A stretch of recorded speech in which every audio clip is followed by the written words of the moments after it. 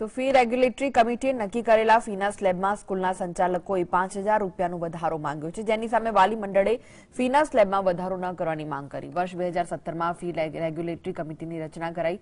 Fee regulatory committee દ્વારા ખાનગી સ્કૂલોની fee માટેનો સ્લેબ નક્કી કરાયો હતો.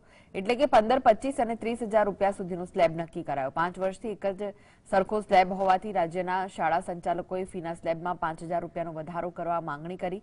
ત્યારે ઓલ ગુજરાત વાલી મંડળે મુખ્યમંત્રી અને શિક્ષણ મંત્રીને પત્ર લખીને રજૂઆત કરી કે શાળા સંચાલક મંડળ દ્વારા ફી મામલે સુપ્રીમ કોર્ટમાં પિટિશન કરાઈ છે. આ પિટિશનનો હજુ સુધી કોઈ નિર્ણય આવ્યો નથી.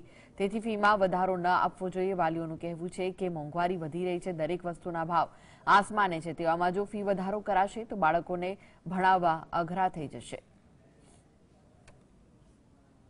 શિક્ષણ તો મોંઘું છે જ. સાથે બધી જ વસ્તુઓ મોંઘી છે અને એનો અસર ભણતર ઉપર, શિક્ષણ ઉપર પડી જ રહ્યો છે. આજે તમે જુઓ કે કોરોના પછી ના તો કોઈના એટલા ધંધા રોજગાર કોઈના એટલા ખુલ્યા છે, નહીં કે રોટેશનમાં આવ્યું છે. અને જે જેવી વસ્તુઓ સરકારે જે જે વસ્તુ પર જે તે સમયે જે વધારો કર્યો તો એની અંદર ક્યાંય કોઈ રાહત છે નહીં આજે બી. જુઓ, કોરોનાનો સમય હતો અને ત્યારે સ્કૂલો મોટા ભાગે બંધ હતી અને બંધ સ્કૂલે સંચાલકોને પંચોતેર ટકા ફી મળેલી છે.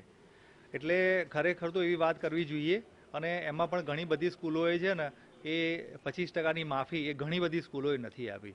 એટલે આ સમય એવો છે કે ખરેખર સંચાલકોએ માનવતાની દ્રષ્ટિ રાખીને જે પરિવારો આ કોરોનામાં કામ ધંધા ખોયા છે, અત્યારે જુઓ કે આર્થિક રીતે પણ ઘણું, ઘણી બધી તકલીફો વાલીઓને પડી રહી છે.